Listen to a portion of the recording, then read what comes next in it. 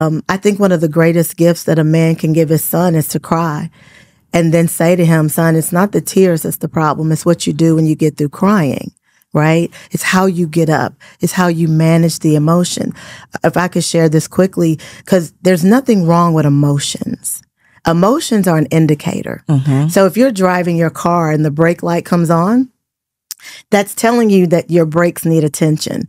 But if you don't give the brakes the attention, the brake light keeps coming on. And eventually, what could have been $30 to fix, which is some brake pads, now because you ignored the, the light, you ignored the, the, the, the, um, the light coming on, now you've damaged the brake pads, the rotary, all of that, and you got to replace it. Now it's 700 to $1,000. That's all emotions are.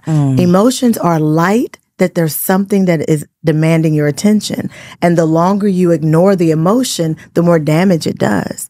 And so those men who don't acknowledge the emotion, they're just creating a pathway for more damage. Mm-hmm.